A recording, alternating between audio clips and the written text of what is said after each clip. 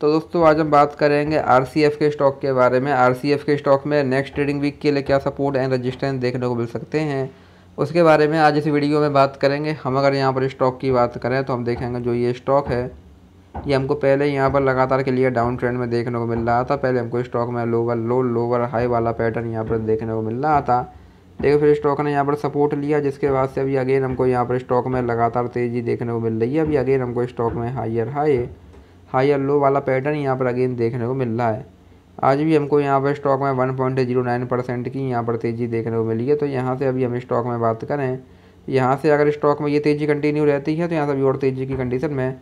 हमारे पास यहाँ पर स्टॉक है वन सेवेंटी वन का पहला, यहाँ पर रजिस्टेंस देखने को मिलेगा। अगर स्टॉक ने इसको ब्रेक किया दैन यहाँ से हमको स्टॉक में अगेन एक बड़ी तेज़ी, एक बड़ी बाइंग यहाँ पर देखने को मिल सकती है। इसके बाद हमको यहाँ पर स्टॉक है वन नाइन्टी देन यहाँ से हमको स्टॉक में टू हंड्रेड और अगर स्टॉक इसको भी यहाँ ब्रेक करता है दैन से हमको स्टॉक में टू ट्वेंटी और two forty two sixty two eighty तक के लेवल्स भी यहाँ पर देखने को मिल सकते हैं।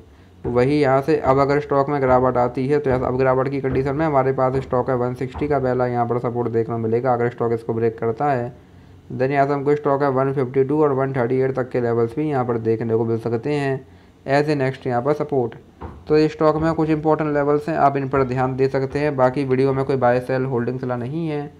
वीडियो केवल एजुकेशनल पर्पज़ के लिए धन्यवाद।